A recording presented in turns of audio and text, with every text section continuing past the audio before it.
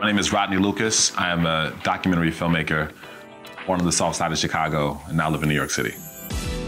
I was probably six or seven years old when I realized I had this sense of like creative energy. I mean, the Z8 to me is perfect um, for a filmmaker like myself. Because it's so small, because it's so agile, yet so powerful and do so much, that it becomes part of me as a person. It becomes part of how I move and how I flow.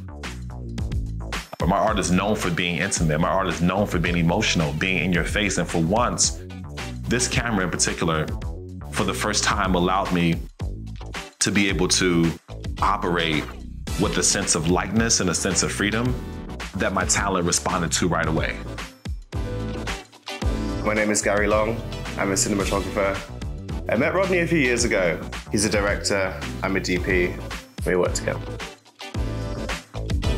The Nikon Z8 is great because it's such a small, great form factor camera. Everything I need in a small box that I can just move around. And there's, there's no limitations there. So.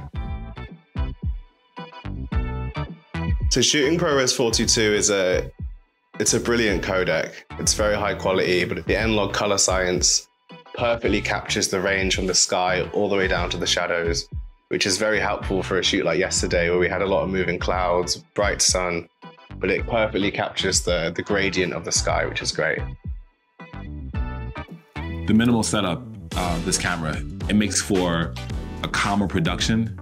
It makes for, I think, a more satisfying experience. I think this camera, paired with the gimbal, allowed me to tell my story through angles and perspectives that I've never told it before.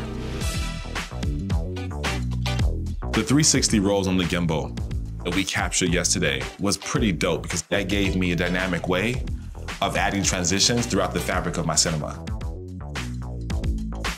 You know, normally I have someone pulling focus or racking. And what this camera did for me with the autofocus aspect of it in real time is it allowed me to not have to think about that. And it served as almost like a teammate basically within that process. It allows me the freedom to really be in the moment as a filmmaker.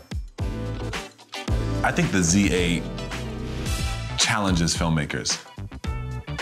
And I think the Z8 really puts the power back into the hands of the independent filmmaker. Because I can trust the fact the autofocus is on point, can trust the fact that the images were beautiful. I'm a filmmaker, I'm a storyteller. Great. Here's a camera that's built for you. Now go out there and perform. Go out there and be you. And the Z8 will help you with that process and have you back throughout it. Ready, action.